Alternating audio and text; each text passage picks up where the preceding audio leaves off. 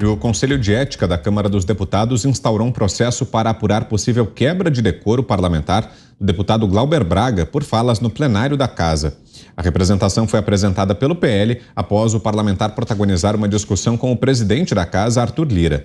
Segundo partido, o partido, as declarações do deputado no plenário ofendem a honra de outros parlamentares.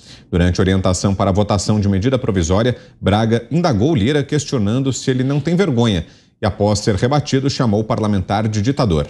Glauber também já chamou Bibo Nunes de torturador, porcaria e defensor de milícia.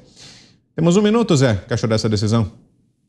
É, o, o, o, Glauber Braga, ele tem esse hábito de fazer esse tipo de, de acusação e de protesto no plenário da Câmara como um show especial particular para os seus eleitores.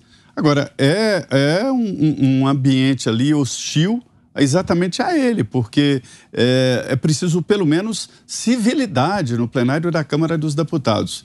A impressão que eu fiquei em conversas lá é que ele será punido.